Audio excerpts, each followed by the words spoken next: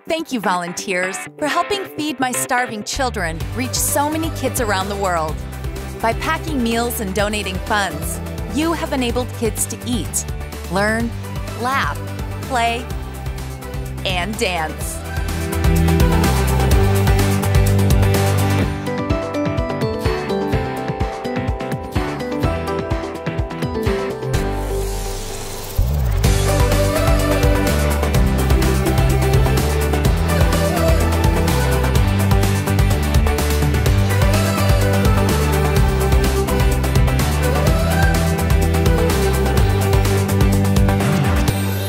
For helping to sustain these children as they pursue hope and a better future.